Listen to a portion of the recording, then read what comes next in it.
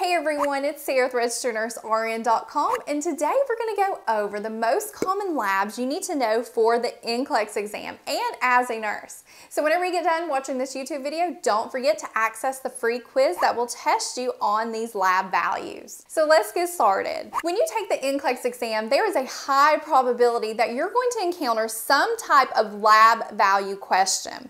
And the reason for this is whenever you're working as a nurse, especially in a hospital, almost every patient that walks through that door is going to have blood work performed because the blood work tells us what's going on with our patient and how we can care for them. So NCLEX is going to really hit on those common labs that you're going to be experiencing on a daily basis on the job. So what are they? Well, a CBC, a complete blood count.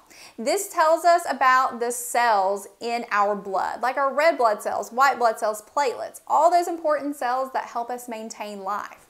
In addition, arterial blood gases, ABGs. This tells us the acid-base imbalance in our patients. Um, especially if our patient's having a respiratory or metabolic problem, it can tell us how bad it is and if our treatment is working to help correct the problem. Another thing is metabolic panels. This can be a basic like a BMP or comprehensive like a CMP. And this tells us really important things like our patient's fluid and electrolyte status. How's our potassium, our sodium, our calcium, glucose, along with our patient's renal function, their BUN and creatinine.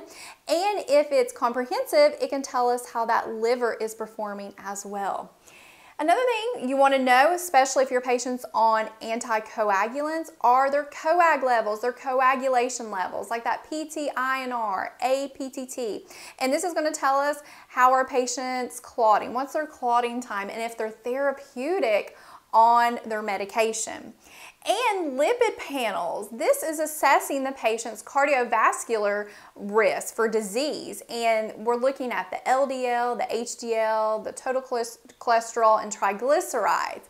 And the last thing are those drug levels because patients, many of our patients are on drugs that have this narrow therapeutic level like digoxin, dilantin, lithium. And we want to know, is it safe to give this drug? What's their drug level? Now, when you take the NCLEX exam and you're looking at those lab values and you're trying to determine, is this normal or abnormal? You need to know that NCLEX is going to give you something that is noticeably abnormal. It's not going to be right on the line or close to the normal range. And the reason for that is because Lab ranges for the normal really vary depending on the lab and the text. Like for instance, some things will say that a normal mag is 1.5 to 2.3, while another one may say it's 1.5 to 2.5. So NCLEX is going to give you something that's really abnormal and you're going to know it's abnormal. So first let's start out talking about the complete blood count, the CBC. This tells us about the cells in our blood. So what's a normal RBC range, a red blood cell range? It should be 4.5 to 5.5 million. For white blood cells, WBCs, it should be 5,000 to 10,000.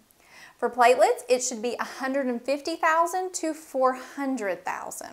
Now, some terms you want to be familiar with would be like thrombocytopenia. What is that? That is a low platelet count. So if they say that to you, you know that's going to be less than 150,000. Or how about a patient with leukopenia? That is a low white blood cell count, so a count less than 5,000. Now let's look at our hemoglobin and hematocrit levels. This tells us about our red blood cells, and we really use this when we're transfusing packed red blood cells. We want to know that hemoglobin level really. And it varies between the female and the male, and I would remember the differences. For a female, a, a normal hemoglobin range is 12 to 16 grams per deciliter. A normal hematocrit is 37 to 47 percent. And for a male, a normal hemoglobin is 14 to 18 grams per deciliter, and a normal hematocrit is 42 to 52%. Now let's look at coagulation levels. If your patient's on an anticoagulant, you definitely want to know their coagulation levels. For instance, if they're on warfarin, you want to know their PT-INR, and if they're on heparin, you want to know that APTT. So let's look at this PT-INR. PT stands for prothrombin time, and a normal PT level in someone who's not on any anticoagulant should be 10 to 12 seconds. An INR is calculated from the PT, and INR stands for International Normalized Ratio, and normally it should be less than one, and this is for someone who's not taking any anticoagulants, specifically warfarin. But how about they are taking warfarin? What do we want that INR level to be so they're therapeutic, so this drug is working to prevent blood clots? We would want their INR to be between 2 to 3. So if it's less than 2, this Coumadin, this warfarin is not really achieving what we need. So their dose would need to be increased. If it was way greater than three, they are at risk for bleeding. So their dose would need to be decreased. Now let's look at this APTT. This stands for Activated Partial Thromboplastin Time. And this is used to for patients who are taking heparin. A normal APTT in a patient who's not taking heparin is 30 to 40 seconds.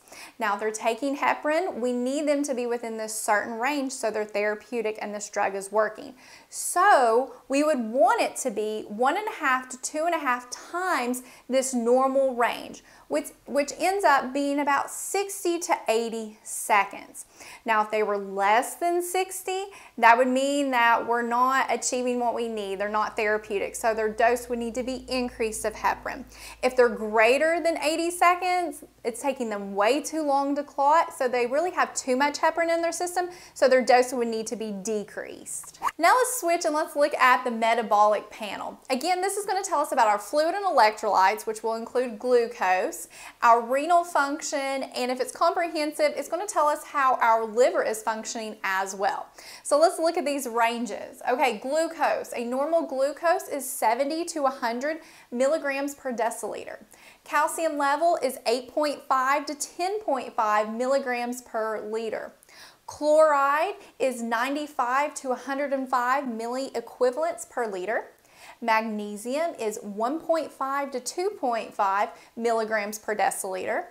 Uh, phosphorus is 2.5 to 4.5 milligrams per deciliter. Potassium is 3.5 to 5 milliequivalents per liter. And a sodium is 135 to 145 milliequivalents per liter. Now how I remember those is that they're like multiples of five. Like everything is represented with five. So if you can remember that, it'll help keep you straight. Now let's look at our renal function. Our BUN and creatinine will tell us that. A normal BUN is 5 to 20. A normal creatinine is 0.6 to 1.2 milligrams per deciliter. Now we're getting into liver function. So let's look at total protein. That is 6.2 to 8.2 grams per deciliter. And then albumin. This is another protein. Remember, albumin played a huge role in regulating our oncotic pressure and it's 3.4 to 5.4 grams per deciliter. Then we have these three enzymes that are found in the liver. It's the ALP, the ALT, and the AST. And if these are abnormal, it could indicate liver disease or some type of other disease in the body. So a normal ALP, which stands for alkaline phosphatase, is 40 to 120 units per liter. Then we have ALT, which stands for alanine transaminase, and a normal range is 7 to 56 units per liter.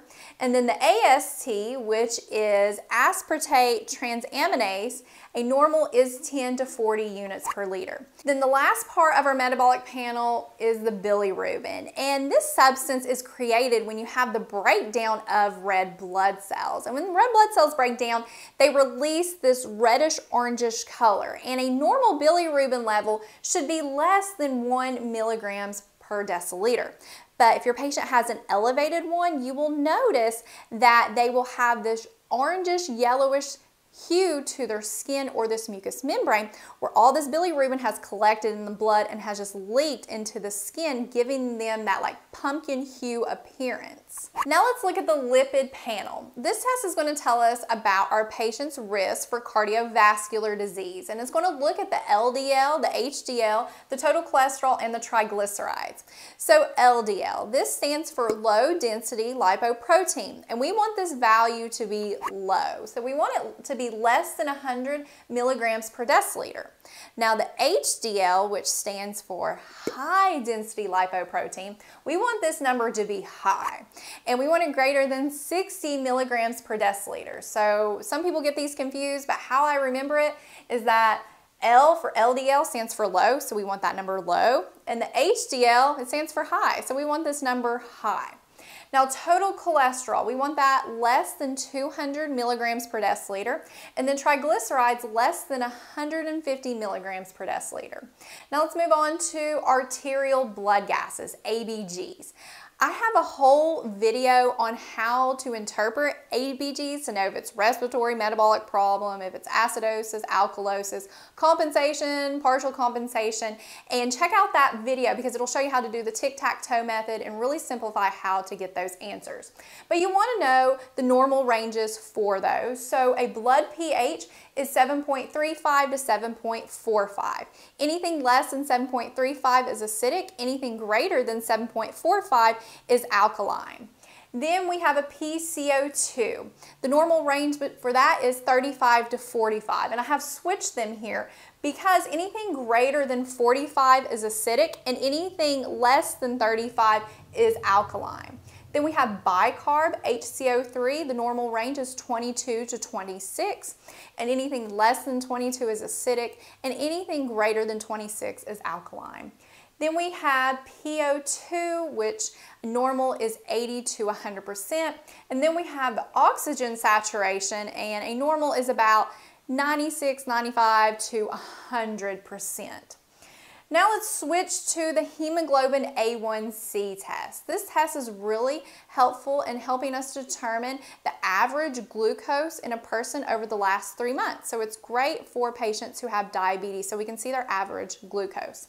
So what do we want this number to be? Well, in a person who does not have diabetes, we would want them to have a hemoglobin A1C of 4 to 6%. But if they have diabetes, we would like for their target hemoglobin A1C to be less than 7%. Now let's wrap up this lecture and let's talk about the most common drug levels you may encounter on NCLEX. So first up is digoxin. A normal dig level is 0.5 to 2 nanograms per milliliter. Then we have carbamazepine, which is Tegretol. Normal level is 4 to 10 micrograms per milliliter. Dilantin, a normal level is 10 to 20 micrograms per milliliter.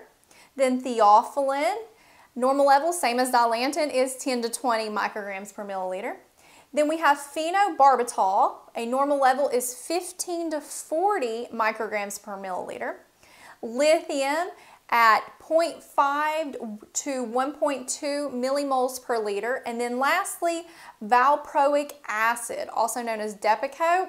It is 50 to 100 micrograms per milliliter. Okay, so that wraps up this review over the most common lab values you need to know for the NCLEX exam. Thank you so much for watching. Don't forget to take the free quiz and to subscribe to our channel for more videos.